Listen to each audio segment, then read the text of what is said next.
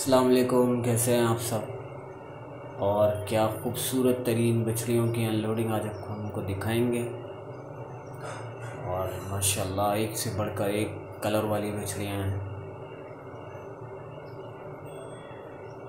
माशाल्लाह, काली अबलग लाल अबलग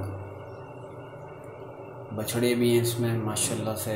ये पान मंडी पर अनलोड हुए हैं। नानकवाड़ा भी कहलाती है ये जगह। कराची वालों का शौक़ है, माशाल्लाह। बहुत हसीन बछड़ियाँ हैं सारी, माशाल्लाह। और बछड़े भी कमाल हैं।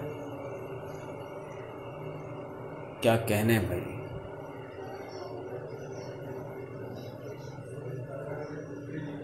अल्लाह पाक भाई की कुर्बानी कबूल फरमाए।